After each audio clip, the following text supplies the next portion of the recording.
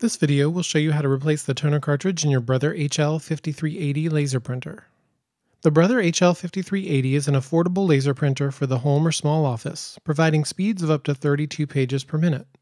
Its high quality 1200 DPI printing engine produces sharp text and graphics, and it includes both wired networking and duplexing features.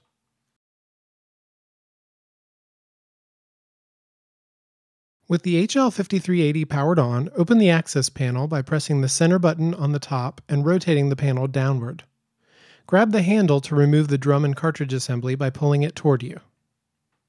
Set the assembly on some paper in case of spills, and press the small lever on the right side to release the Brother HL5380 toner cartridge, then lift to remove it.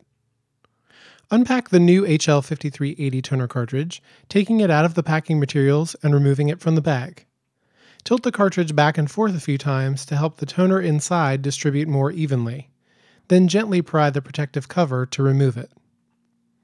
Insert the new Brother HL5380 cartridge into the assembly, tilting the front side slightly downward, then locking it into place. Spin the assembly around to the back so that you can clean the corona wire by sliding the small tab back and forth about five times. Make sure to snap the tab back into its starting position when you are finished.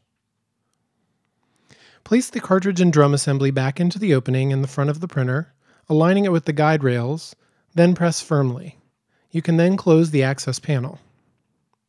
You are now ready to resume printing with your Brother HL5380 laser printer. Be sure to visit inktechnologies.com for all your toner and ink needs, where we can help you save money with every print.